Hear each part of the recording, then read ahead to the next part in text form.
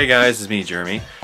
Wanted to try and do this little documentary series a while ago. Now that the Xbox One and the PS4 are all the rave and everyone's playing them, I thought it would be maybe good. Probably it's too late now, but I've always wanted to try and do a little documentary series about my original Xbox games. When the Xbox 360 was about midway through, I started recollecting old Xbox games. So I thought it was just really fun to try and find them and look around and see what I could find. I remember I looked for Need for Speed Blacklist for well over five years. Uh, I finally found Star Wars Republic Commando after looking for that for at least eight years.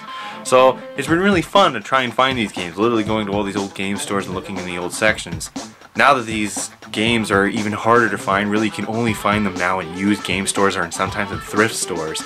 Uh, GameStops and EB Games has stopped selling them completely, same with PS2 games now. So I wanted to do a little show kind of just talking about how rare the games are, how hard they are to find, how much they're probably worth now if you did find them, how fun they were, how fun they can be or cannot be now that the Xbox Live support has been cut off for the original Xboxes for years.